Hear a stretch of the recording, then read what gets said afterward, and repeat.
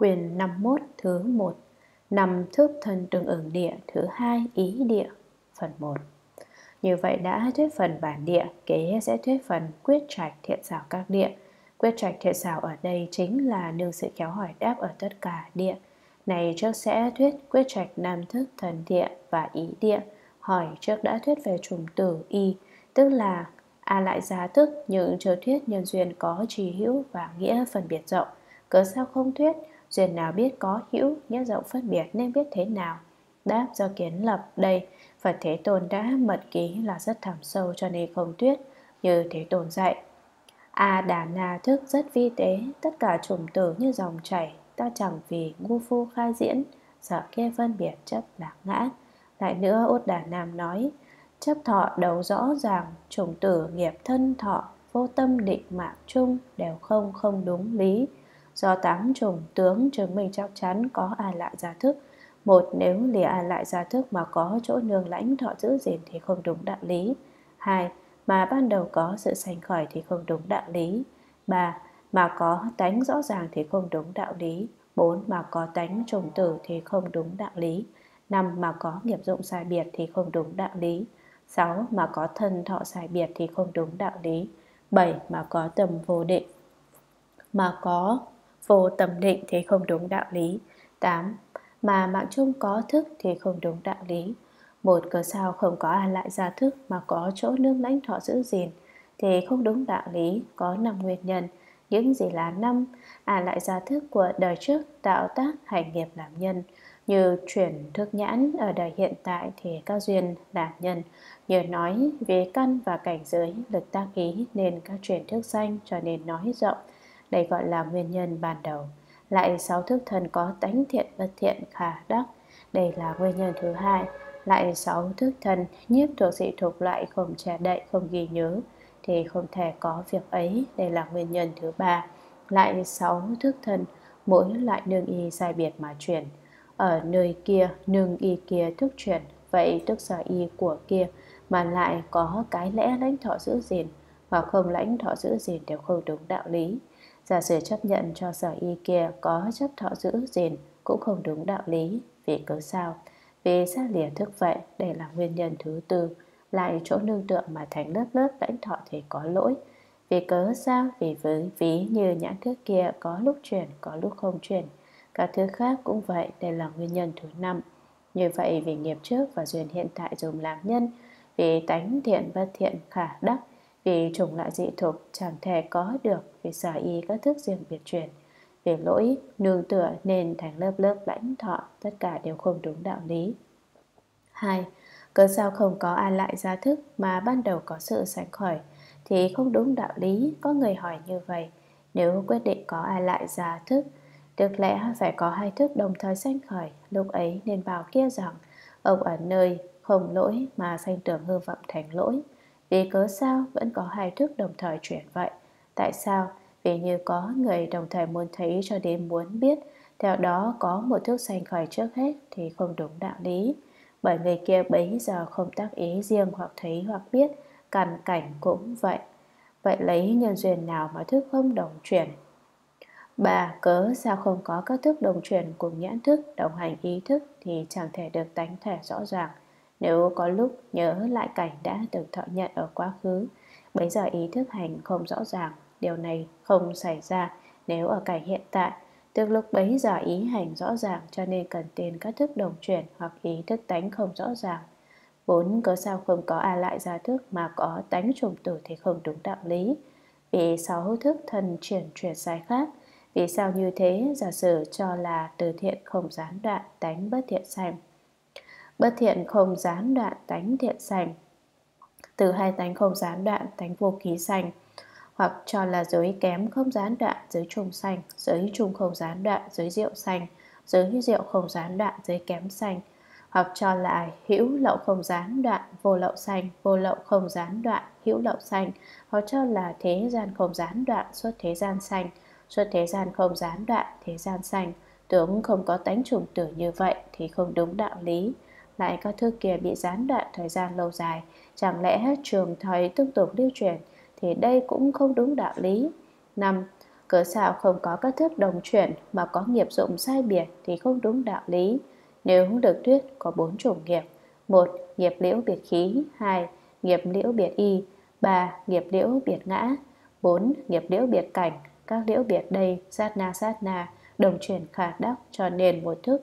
Ở một sát na mà có tất cả nghiệp dụng sai biệt như trên thì không đúng đạo lý. 6. Cớ sao không có an lại gia thức mà lại có thần thọ sai khác thì chẳng xứng đạo lý như có người hoặc suy nghĩ như lý, hoặc suy nghĩ không như lý, hoặc không suy ngẫm, hoặc tùy tầm tứ hoặc tầm đời định, hoặc tâm không tại định, khi đó nơi thần phát khởi các sự lãnh thọ chẳng phải một chủng mà nhiều chủng chủng sai khác, cho nên an lại gia thức kia lẽ không hiện hữu mà hiện khả đắc do đây quyết chắc là có ai lại ra thức 7. Cớ sao không có ai lại ra thức mà có vô tâm định thì không đúng đạo lý, hoặc nhập vô tưởng định hoặc nhập diệt tận định, lẽ giống như giả mạng thức lìa nơi thân, chẳng phải chẳng lìa thân, nhưng thế tổn thuyết từ lúc bấy giờ thức không lìa thân. 8. Cớ sao không có ai lại ra thức mà có thức lúc mạng chung thì không đúng đạo lý, lúc lâm trùng hoặc từ phần thân trên hoặc từ phần thân dưới, thức dần dần xả ly, cảm giác lạnh dần dần khởi nhưng chẳng phải không có ý thức kia chuyển. Nên biết lúc ấy duy có an lại ra thức năng chấp chỉ thân, nếu thức đầy xả ly, tức là thân phần bị lạnh, thân không cảm thọ nhận biết, ý thức cũng vậy, cho nên không có an lại ra thức thì không đúng đạo lý. Lại nữa, Ốt Đà Nam nói, sở duyên hoặc tương ưng lại duyên tánh xoay vần các thức thầy đồng truyền tạp nhiễm ô hoàn diệt. Nếu lược thuyết thì ai lại ra thức có do bốn chủng tướng kiến lập tiêu chuyển và một chủng tướng kiến lập hoàn diệt. Một bốn tướng kiến lập tiêu chuyển, A do kiến lập sở duyên chuyển, B do kiến lập tương ứng chuyển, C do kiến lập xoay vần làm tánh duyên chuyển, D do kiến lập các thức đồng chuyển chuyển. A sao gọi là kiến lập sở duyên chuyển à sao gọi là kiến lập tướng sở duyên chuyển nếu nói lược thì à lại gia thức do ở nơi hai trùng cảnh sở duyên chuyển. Một do liễu biệt chấp thọ bên trong, hai do liễu biệt tướng khí không phân biệt bên ngoài. Liễu biệt chấp thọ bên trong tức là năng liễu biệt tự tánh biến kế sở chấp, tập khí sở chấp, hư vọng và các sắc căn, sở y xứ của căn. Đây là ở hữu sắc giới, còn ở vô sắc giới chỉ có liễu biệt tập khí chấp thọ.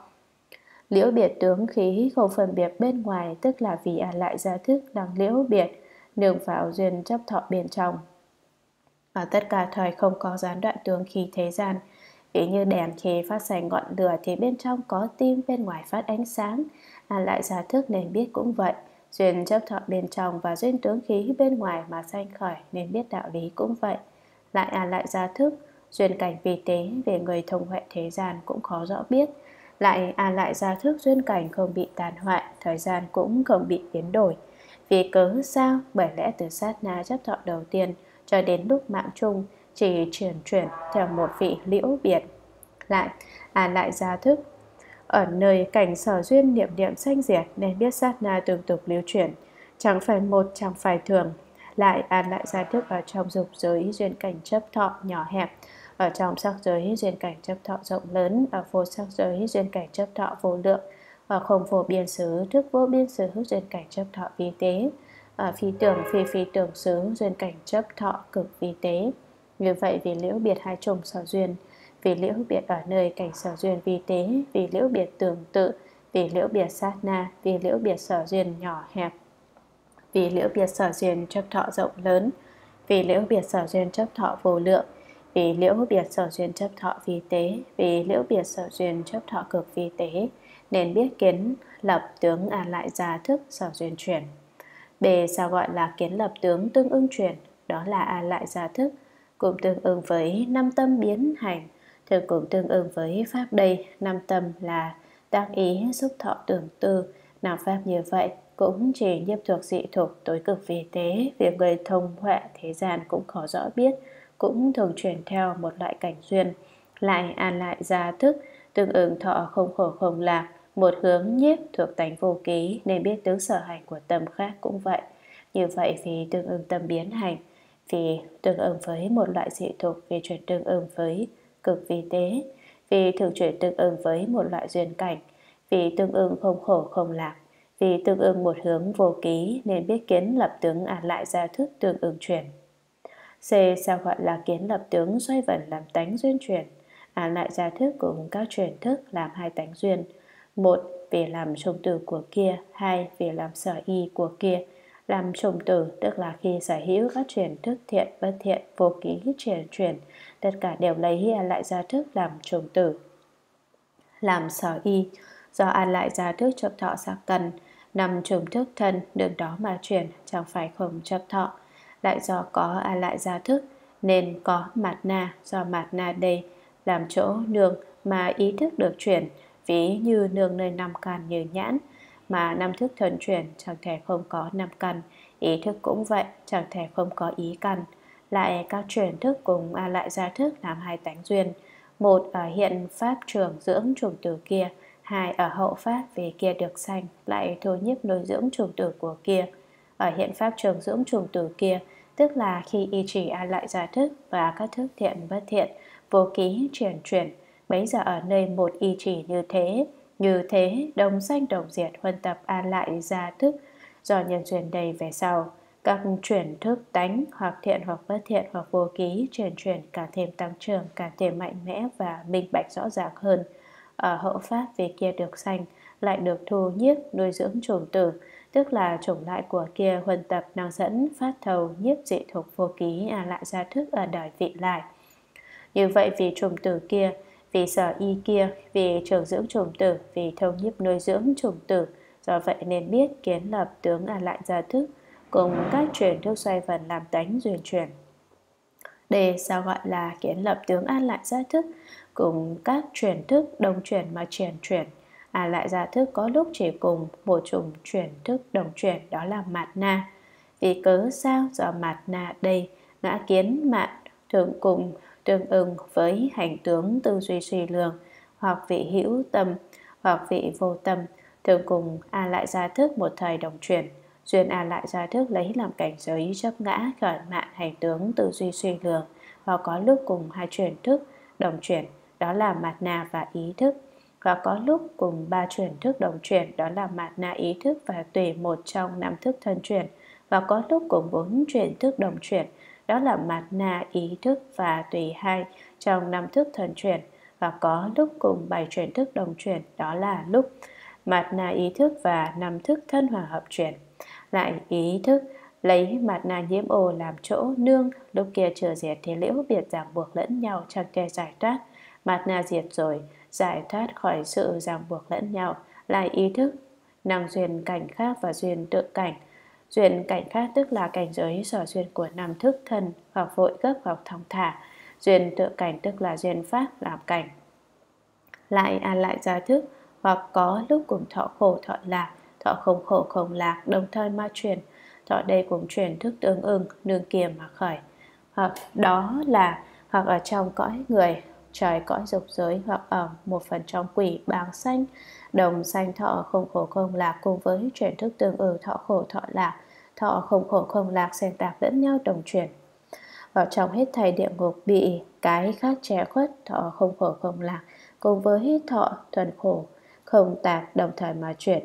Nên biết thọ đây, vì bị che khuất nên khó có thể rõ biết. Như trong hết thầy địa ngục đồng chuyển một hướng là thọ khổ, như vậy ở địa tam đệ, tam tịnh lự, đồng chuyển theo một hướng là thọ lạc. Ở địa, đệ tứ tịnh lự cho đến hữu đành đồng chuyển theo một hướng là thọ không khổ không lạc. Lại à lại gia thức, hoặc có lúc cùng chuyển thức tương ứng, các tâm pháp thiện, bất thiện, vô ký, đồng thời mà chuyển. Như vậy à lại gia thức tùy cùng với các truyền thức đồng thời ma chuyển cũng dùng chứa lãnh thọ, cũng dùng chứa tầm pháp thiện, bất thiện, vô ký, đồng thời mà chuyển như chẳng thể nói an lại gia thức cùng tương ứng tất cả kia. Vì cớ sao? Do trong cùng kia đồng duyên chuyển vậy. Như nhãn thức tùy cùng nhãn căn đồng chuyển nhưng chẳng tương ứng nhãn căn. Đạo lý an lại gia thức đây cũng lại như vậy. Nên biết trong đây đường đạo lý trước phần tương tự mà lấy làm ví dụ. Lại như các pháp tâm sở. Tùy tánh tâm pháp không có sai biệt nhưng vì tướng khác, ở trong một thân đồng chuyển một lúc xoay vần không trái nhau. Như vậy, ở trong một thân an lại giả thức cùng các chuyển thức một lúc đồng chuyển, nên biết xoay vần cũng không trái nhau, lại như một dòng nước mạnh có nhiều sóng dao động, động chuyển một lúc xoay vần không trái nhau, lại như mặt gương sáng sỏi có nhiều ảnh tượng một lúc hiện trên mặt gương mà không chống trái nhau. Như vậy ở nơi một a lại giả thức có nhiều chuyển thức đồng chuyển một lúc nên biết xoay vần cũng không trái nhau. Lại như một nhãn thức ở một thời gian, ở một cảnh sự và có lúc chỉ thủ lấy một loại tướng sắc, không tướng sắc khác, hoặc có lúc một thoáng thủ lấy không phải một mà là trùng trùng tướng xúc, như nhãn thức đối với các sắc thì nhĩ thức đối với các thanh, tỷ thức đối với các hương, thiệt thức đối với các vị cũng lại như vậy. Lại như thần thức ở một thời gian, ở một cảnh sự hoặc có lúc chỉ thủ lấy một loại tướng xúc, không tướng xúc khác, hoặc có lúc một thoáng thủ lấy không phải một mà là trùng trùng tướng xúc. Như thế, ý thức phân biệt ở một thời gian ở một cảnh sự, hoặc có lúc chỉ thủ lấy một loại tướng cảnh không tướng cảnh khác, hoặc có lúc một thoáng thủ lấy không phải một mà là trùng trùng tướng xúc nên biết đạo lý cũng không trái nhau. Lại như trước đã thuyết, an lại gia thức cùng mặt na đồng chuyển cho đến chưa đoạn dứt, nên biết thường cùng đồng sanh nhậm vận tương ưng đồng thời với bốn chủng phiền não là thân kiến ngã mạn, ngã ái và phù mình. Bốn chủng phiền não đây hoặc ở định địa hoặc ở bất định địa nên biết thường hành chuyển không chống trái với tướng thiện. Đây là tánh có che đậy không ghi nhớ.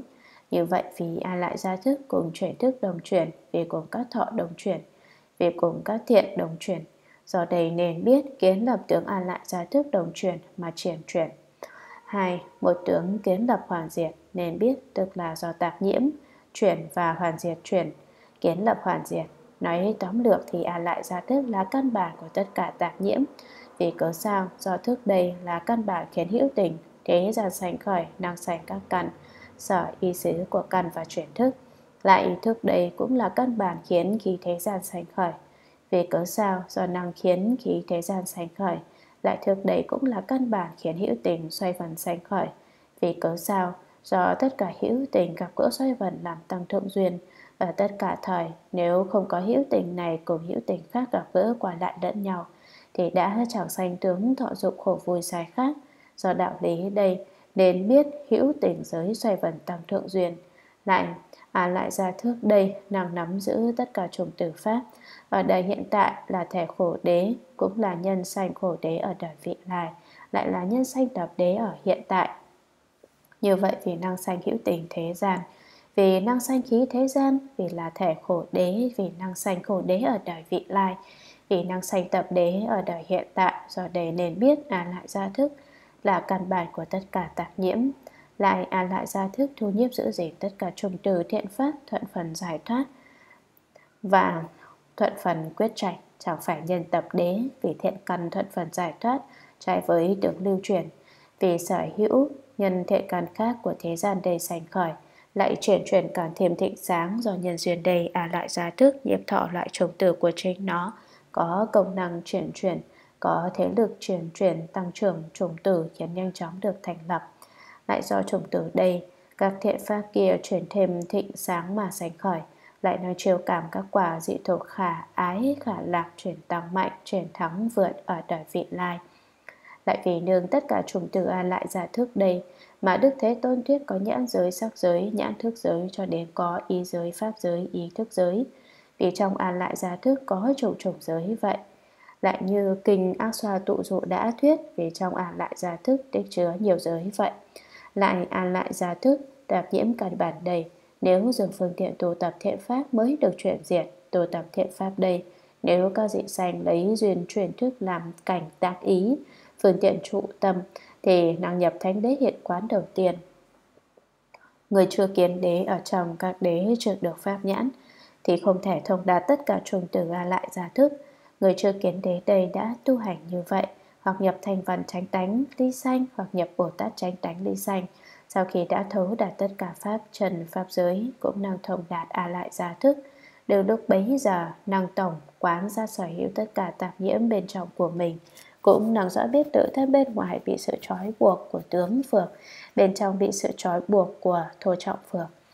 Lại người tu quán hành vì lấy an lại gia thức chính là tất cả hí luận, nhập lấy các hành của các cõi thâu tóm các hành kia ở trong an lại giả thức, chung là một đoàn, một tập, một tụ, đã kết thành một tụ do dụng trí duyên cảnh chân như tu tập. Nhớ tu tập mà được chuyển y chuyển y không gián đoạn nên nói đã đoạn an lại giả thức do đoạn đây nên nói đã đoạn tất cả tạp nhiễm. Nên biết chuyển y là do đối nghịch với a lại gia thức nên năng đối trị a lại gia thức lại thể của a lại gia thức là vô thường tánh có chấp thủ lãnh thọ chuyển y là thường tánh không chấp thủ lãnh thọ, vì chỉ duyên cảnh trần như thánh đạo mới năng chuyển y vậy. Lại an lại gia thức, là tất cả thô trọng đuổi theo, còn chuyển y rốt giáo xa lìa tất cả thô trọng. Lại an lại gia thức là nhân phiền não chuyển, nhân thánh đạo chẳng chuyển. Chuyển y thì nhân phiền não chẳng chuyển, nhân thánh đạo chuyển.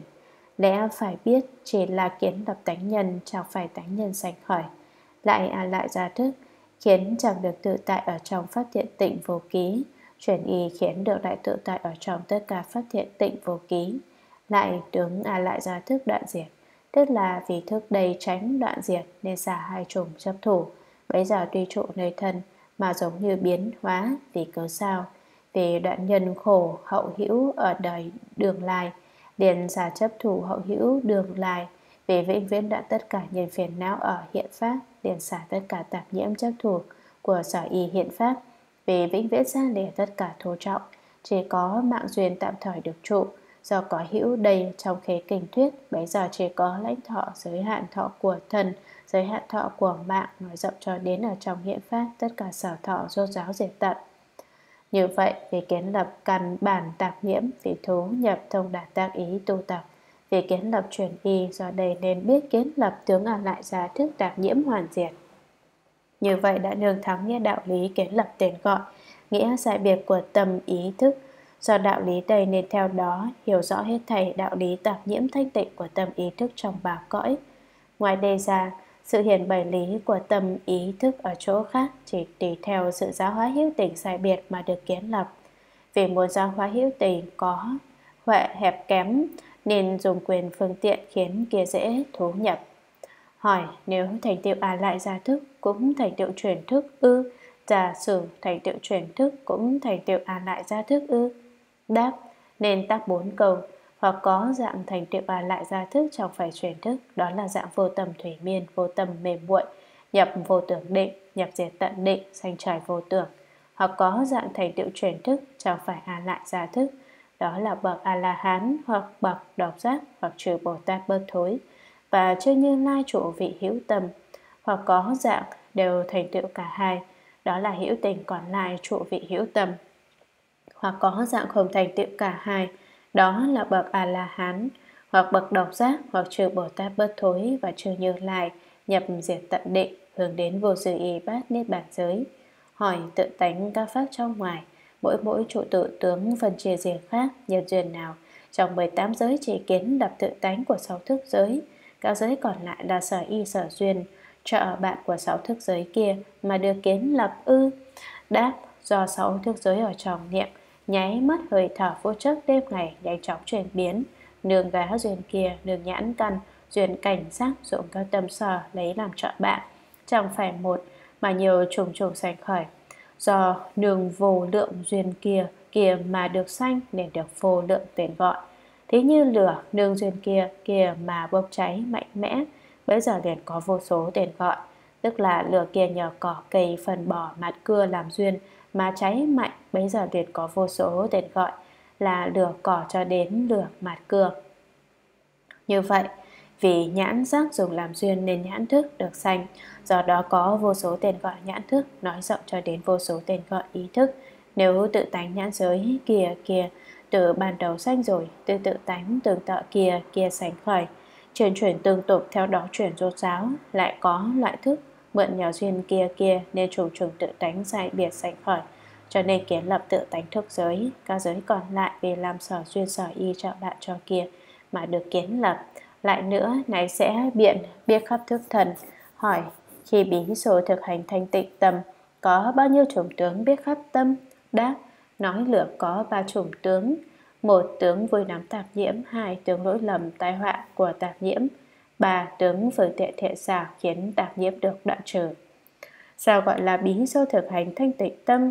Biết khắp tướng vùi đắm tạp nhiễm của tự tâm. Bí số khởi nghĩ như vậy. Này tâm ta đây, đêm dài vui đắm ở nơi các tạp nhiễm đã tự biết rồi liền từ bỏ tánh tham tâm dừng nghỉ an trụ nơi tánh lìa tham. Nếu khi ấy tâm không thể an trụ, cũng không vui thích nơi tánh lìa tham thì không duyên điều khác, chỉ nhanh chóng trở lại nhập vào dòng ruồi trong tánh tham kia. Như tự biết tánh có tham thì tự biết tánh có sân si hạ liệt trạo cử không tịch tĩnh tán lạ cho đến tánh vui đắm phóng giật. Liền từ bỏ tâm dừng nghỉ, an trụ tình cần tu tập cả thiện pháp. Nếu khi ấy tâm không thể an trụ cũng không vui thích, riêng tu thiện pháp thì không duyên điều khác. Chỉ nhanh chóng trở lại nhập vào dòng ruồi trong tánh gì kia cho đến trong tánh vui đắm phóng giật. Như vậy gọi là bí số thực hành thanh tịnh nơi tâm, biết khát tướng vui đắm tạp nhiễm của tự tâm. Sau khi biết khắp rồi, bí số thực hành thanh tịnh nơi tâm, lại năng biết khát tướng lỗi lầm tai họa của tạp nhiễm khởi nghĩ như vậy. Tâm ta hiện tại có tham khiến tổn hại mình, tổn hại người, tổn hại cả hai, khiến hiện pháp sanh tội, hậu pháp sanh tội cho đến hiện pháp hậu pháp sanh tội, lại năng làm duyên khiến thật tâm yêu khổ, như khởi nghĩ ở nơi tánh có tham cho đến khởi nghĩ ở nơi tánh với đắm phóng dật nên biết cũng vậy, lại khởi nghĩ như vậy. Vì tâm có tham đầy cho đến tâm vui đắm phóng dật đầy mà có lỗi lầm, có tật bệnh, có hạnh tử, có tai họa, có yêu não. Sau khi biết khắp tức tướng lỗi lầm tai họa của tạp nhiễm nơi tự tâm, lại năng biết khắp tướng phương tiện thiện xảo khiến tạp nhiễm nơi tâm được đoạn trừ. Tức là khởi nghĩ như vậy, ta nay không được thận theo tạp nhiễm lỗi lầm có tật bệnh, có hoại tử, có tai họa, có yêu não. Nếu hút tâm tự tại chuyển theo kia, tất khiến tâm ta thuận theo thế lực của ngã mà chuyển.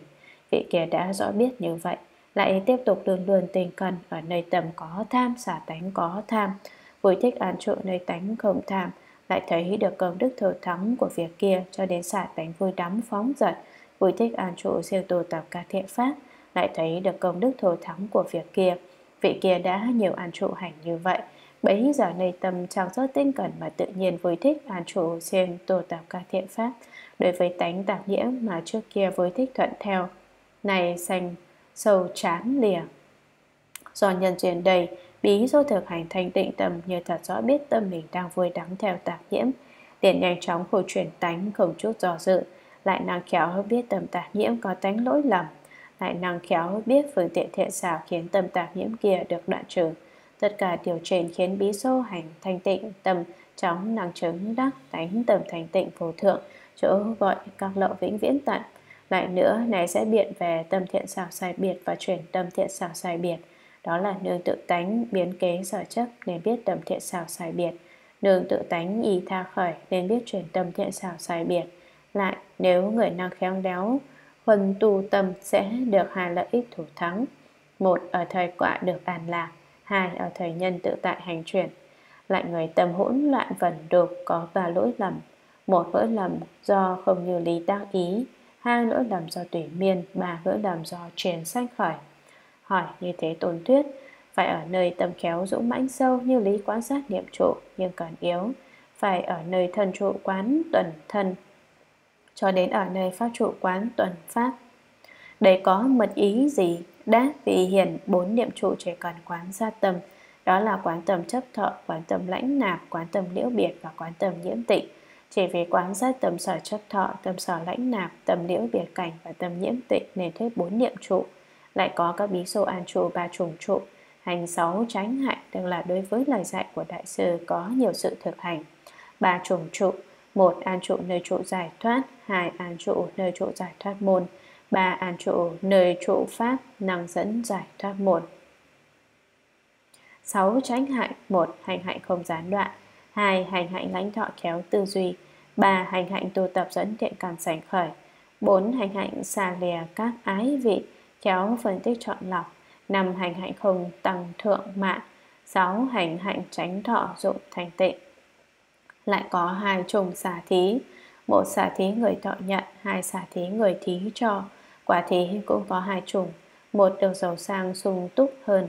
Sung túc lớn, Hai được thắng giải thọ dụng đẳng liều Lại nữa, này sẽ biện chứng thành đạo lý. Hỏi Đường đạo lý nào mà tuyên thuyết các hành tướng sanh từ vị lai chẳng phải thật, chẳng phải có.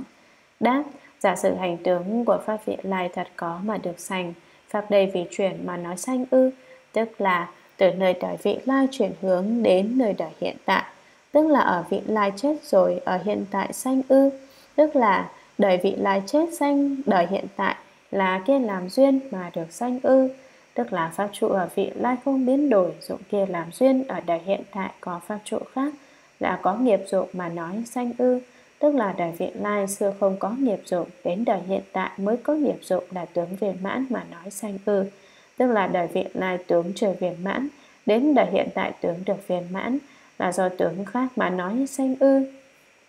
Tức là ở trong vị lai có phần vị lai và có phần nhân, do hai chủng đây tướng có sự khác nhau, lại đến hiện tại có phần hiện tại và có phần quả do hai chủng đây tướng có sự khác nhau mà nói sanh ư.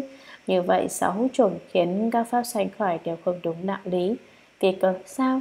Pháp chẳng phải không phương không xứ, mà có nghĩa từ phương khác chuyển đến phương khác, cũng chẳng phải pháp chưa sanh, chưa đã sanh mà có nghĩa chết. Nếu kia làm duyên mà được sanh, thì pháp khác đây chẳng phải vị lai sanh, ở vị lai đây liền chưa là có. Lại trong đệ nhất nghĩa vì tất cả pháp không tác dụng nên lìa nghiệp dụng tướng khác chẳng thể có được. Chỉ tức nơi tướng mà giả kiến lập. Giả sử có tướng khác thì vị lai hiện tại đồng thật có tướng, mà chỉ nói hiện tại riêng có nghiệp dụng thì lý này bất khả đắc. Lại nghiệp dụng đây liền lẽ xưa không mà này được sanh, liền thành trái với ngôn thuyết vì diệu của Đức Thế Tôn. Các hành chẳng phải thường chẳng phải hằng, trong lúc ông lại hiền các hành nghiệp dụng vô thường, do nghĩa đây hành phải là thường. Ở một tướng nếu phần tướng khác được là có, cớ sao phần khác của tướng lại chẳng có, lại phần tướng khác xưa không nay có, cớ sao phần khác của tướng lại chẳng thành xưa không nay có, lại về tất cả hành tướng như sắc, phần vị lai khác, tất không thể đắc, lại lẽ vị lai không có tướng quả hiện tại mới có tướng quả sanh khởi. Như vậy đã hiện chứng thành đạo lý, nương đạo lý đây, nên biết tuyên thuyết. Tất cả hành tướng của các pha vị này chẳng phải thật, chẳng phải có, xưa không này có. Như đối với vị lai, thì quá khứ theo chỗ thích hợp do đạo lý đây đều tuyên thuyết chẳng phải thật, chẳng phải có. Lại hành quá khứ thế nào là tướng đã diệt mất, tự tánh đã xả. Hành hiện tại thế nào là tướng chưa diệt mất, tự tánh trở xả. Lúc sành tạm trụ, Hành vị lai thế nào là nhân hiện có, tự tướng chưa sành tự tánh chưa được.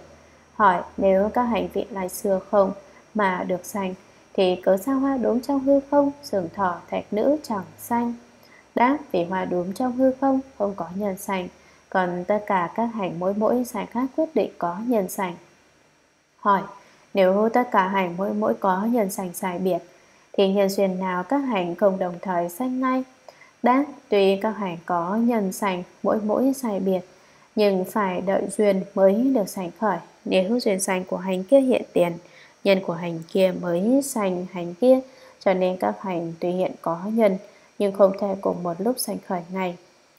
Lại sao gọi là nhân các hành, sao gọi là duyên, Đức Thế Tổn Thuyết, duyên sanh các hành được có bốn chủng.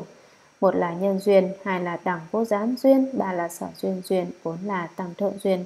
Chủng nhân duyên thứ nhất cũng là nhân của duyên. Cũng là nhân, cũng là duyên Và chủng còn lại chỉ là duyên, chẳng phải nhân. Một nhân duyên là các sắc căn, chỗ cần nương tựa và thức. Hai đây được nói năng giữ gìn tất cả chủng tử các pháp. Nếu đuổi theo sắc căn có các chủng tử sắc căn Chủng tử sắc pháp khác và tất cả chủng tử tầm tầm pháp. Nếu đuổi theo thức, có tất cả chủng tử thức và chủng tử pháp vô sắc khác.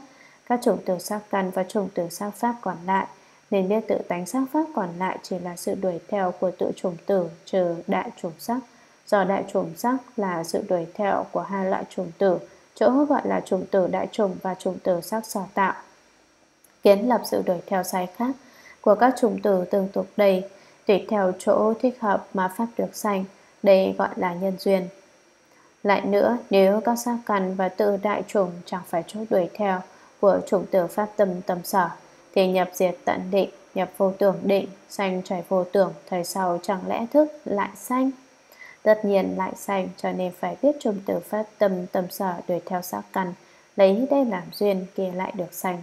Lại nữa, nếu chủng tử phi sắc đuổi theo các thức, thì hàng dị sanh sanh ở vô sắc giới thọ tận, nghiệp tận chết đi Lúc sanh trở lại cõi dưới Chủng tử vô sắc lẽ không sanh lại Tất lẽ sanh Cho nên nên biết chủng tử các giác đuổi theo lời thức Lấy đây làm duyên nên sắc pháp lại sanh Lại nữa nếu các dị sanh Do đạo thế gian nhập sở tịnh lự Được sanh cõi kia Bây giờ các pháp nhiễm ồ và trùng tưởng các pháp khác của dục giới chỉ có thể tổn hại nhất thời mà không thể vĩnh viễn hại diệt. Vì cớ sao? Do dị sanh đây, tử định kia hoàn thối nên pháp nhiễm ô của dục giới trở lại hiện tiền. Từ sơ tịnh lữ chết rồi sanh trở lại dục giới. Lại nữa có ba chủng tổn phục. Một tổn phục do xa lìa, hai tổn phục do nhàm chán họa hoạn, ba tổn phục do sa ma tha, gia gọi là tổn phục do xa lìa Như có người xa lìa pháp tại gia hướng đến xuất gia Xa lìa trùng trùng thọ dụng dục Mà thọ trì cấm giới ở trong hạnh viễn ly Thọ trì cấm giới thần cận tu tập Hoặc nhiều tu tập Do thần cận tu tập nhiều tu tập không gián đoạn Nên ở nơi cao dục tâm không thú nhập Tâm không liều tán, tâm không an trụ Tâm không vùi đắm cũng không phát khởi được tăng thượng đối với cao dục cũng không duyên theo cảnh giới kia khiến sanh khởi phiền não. Đây gọi là tổn phục do xả lìa. Sao gọi là tổn phục do nhàm chán họa hoạn như có một người do tưởng quá hoạn, hoặc do tưởng bất tịnh, hoặc do tưởng sanh bầm ứ thảy, hoặc do thuận theo một tác ý như lý biết được họa hoạn của các dục kia nên sanh nhàm chán. Tuy chưa ly dục, nhưng đối với các dục tu nhàm chán trái nghịch, tâm không thú nhập cho đến nói rộng như vậy gọi là tổn phục do nhàm chán họa hoạn.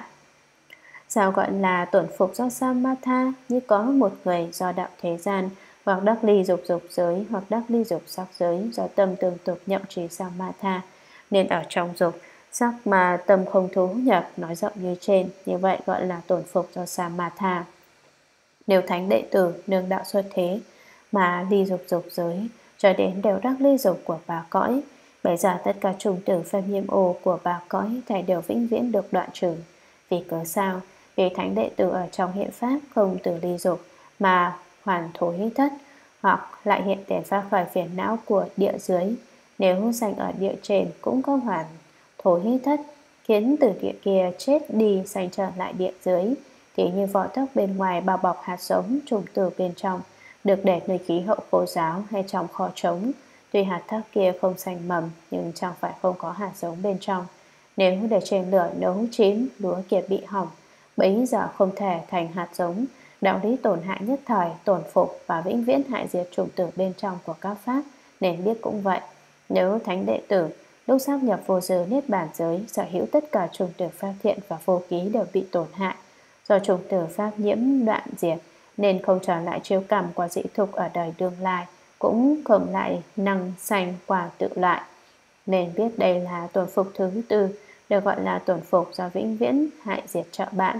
Lại cả đầy đủ phược chỗ có tầm sanh khởi, hoặc đồng hành vui hoặc đồng hành khổ, hoặc đồng hành không khổ không vui. Tất cả tâm đây đều là sự theo đuổi của trùng tử vui, trùng tử khổ và trùng tử không khổ không vui. Nếu khởi tâm hoặc thiện hoặc nhiễm ô hoặc vô ký, thì tất cả tâm đây đều là sự đuổi theo của trùng tử thiện, trùng tử nhiễm ô và trùng tử vô ký.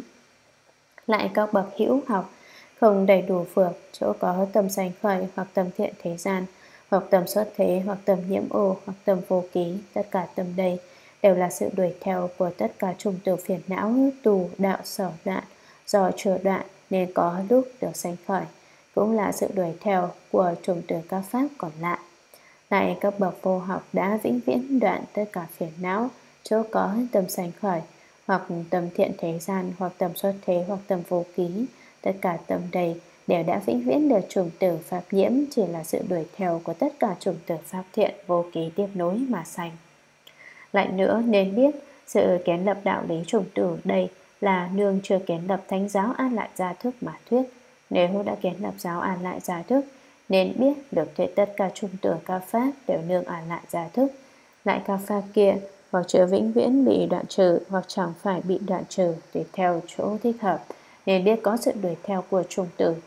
Hỏi như thế tồn thuyết, ta nói các bí dụ A-la-hán ở nơi bốn chủng pháp tầng thượng tâm thì trong hiện pháp chỗ nơi an lạc.